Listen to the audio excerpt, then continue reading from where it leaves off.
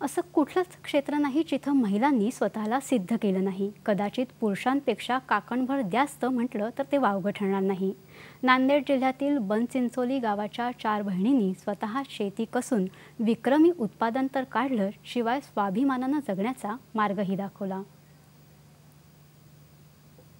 तसं पाहिलं तर शेती व्यवसाय आणि इतर कामात पुरुषांचीच मक्तेदारी आहे. जमिनीच्या मशागतीची पेरणी पाणी देणं फळ पिकं अन्नधान्य यांची विक्री व्यवस्था ही सगळी कामं पुरुषच पाहतात. पण नांदेड जिल्ह्यातील बनचिंचोली इथल्या धनश्री पूजा प्रगती आणि प्रीती पौळ या बहिणींनी पूर्ण वेळ शेतातील सर्व कामं स्वतः करून विक्रमी उत्पन्न काढून शेती हा तोट्याचा सौदा नसल्याचं दाखवून दिलं. नांगरणी कोळपणी पेरणी फवारणी पाईपची जोडणी अशी सर्व कामं या बहिणीच करतात. घरची आर्थिक परिस्थिती बेताचीच होती. त्यामुळे आम्ही बहिणींनीच शेती करण्याचं ठरवल्याचं पूजा पौलनं सांगितलं. आमची परिस्थिती फार हलाखीची नाजूक होती म्हणून आम्ही शेतीकडे वळलो.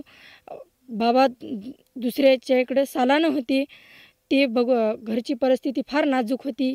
त्या टायमाला आम्ही भाकरीला सुद्धा मोत होतो म्हणून मी शेतीकडे वळलो. शाळा शाळा शिकताना खूप अडचणी आल्या. त्या मला एका म्हणजे आठवड्यातून मी चार पाच दिवसच शाळेत जायचो आणि तीन चार दिवस आमची परिस्थिती नव्हती म्हणून मी सरळ शेताकडे येत गेलो. पारंपरिक पिकात काहीतरी बदल यावा म्हणून आम्ही त्यानंतर उसात आंतरपीक म्हणून टरबूज लावलं. यानंतर आम्ही परत त्याच बाजूच्या ढेल्यामध्ये ढेमसं लावली होती.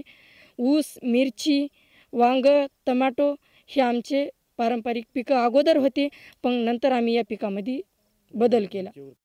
हलाखीच्या परिस्थितीमुळे स्वतःची शेती असूनही दुसऱ्यांकडे काम करणाऱ्या वडिलांच्या परिस्थितीची जाणीव ठेवून या मुलींनी नेटानं शेती केली. दोन वर्षातच चित्र पालटलं. इतरांच्या तुलनेत एकरी दुप्पट उत्पन्न मुलींनी काढून दाखवलं. ऊस एकरी पंच्याण्णव टन कापूस एकरी तेवीस क्विंटल हरभरा एकरी अठरा क्विंटल आणि ऊसामध्ये आंतरपीक म्हणून कलिंगडाचं वेगळं असं नगदी अडीच लाखाचं उत्पन्न त्यांनी घेतलं. अशा या मुलींच्या श्रमामुळे कुटुंबाला आर्थिक बळ मिळाल्याचं गणेशराव पौळ सांगतात. माझी वडलो शेती हे पडीत होती. पडीत असल्यामुळं मला बाहेरून कुटुंब चालवण्यासाठी काम केल्याशिवाय पर्याय नव्हता. जेव्हा आम्ही आमच्या मुली माझ्यासोबत कामाला आल्या आणि त्यांच्या कामाचं म्हणजे सकाळी चार म्हणजे चारला ते उठतात. घरचं काम दोन घंट्यात आवरून ते सहा वाजता शेतात येतात.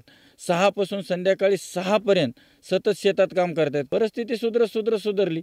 आणि मुलीवर विश्वास टाकल्यामुळे त्यांना बी सुद्धा ते पैसे दिसू लागले म्हणून ते सुद्धा उल्हासात येऊन काम करू लागल्या अनेक सामाजिक संस्था तसंच स्थानिक प्रशासनानं या चौघी बहिणींच्या स्वाभिमान आणि कष्टाची दखल घेऊन त्यांचा सन्मानही केला आहे. या बहिणींची मेहनत आत्मनिर्भरतेकडे भरारी घेणारी अशीच आहे.